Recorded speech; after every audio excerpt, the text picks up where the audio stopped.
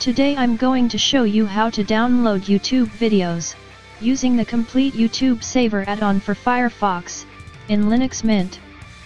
First we need to install FFmpeg, from the default Mint repositories. Go ahead and open a terminal, and type sudo apt-get install ffmpeg.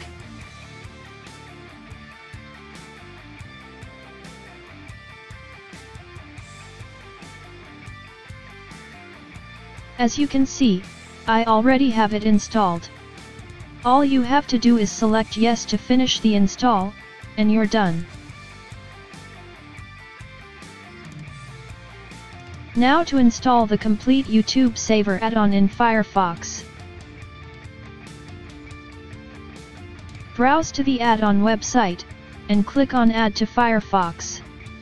Now after the software is installed, you need to set the directory location of FFmpeg in the add-on preferences. Be sure to only select the directory, not the FFmpeg file itself. Open the settings, and click the FFmpeg tab, then select Browse. The default location for FFmpeg, is in the user bin directory.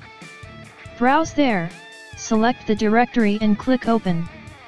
That being done, you can close the Preferences window. The complete YouTube saver should be ready to work for you, so let's test it out.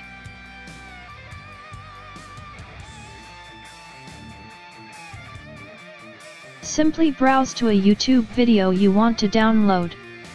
Click on the pull-down menu next to the arrow, to the left of the browser address bar, to make your selection.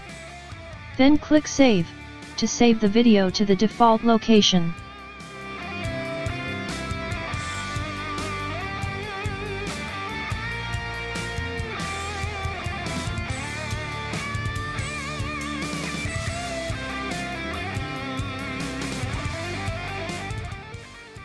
Now the download is complete, let's see how it looks.